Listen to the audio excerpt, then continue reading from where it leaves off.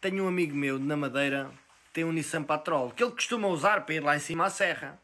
E ele pagava, ou paga, 70 euros de imposto de circulação. Mas com as novas legislação vai passar a pagar 700 e 700 e tal euros.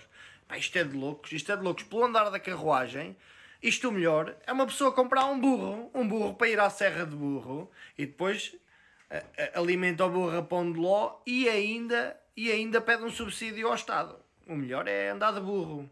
E depois faz como o outro, como a música do Fernando Correia Marques. Quando quero ver aquele amor meu, Pego no burrito e lá vou eu. Quando quero ver aquela nós que aceitamos estas medidas do governo. Nós é que somos os burritos. Ah, povo enganado. Isto tem que parar aqui. Temos que dizer chega destes ladrões que nos querem roubar. Querem nos roubar a carteira diariamente. Chega disto.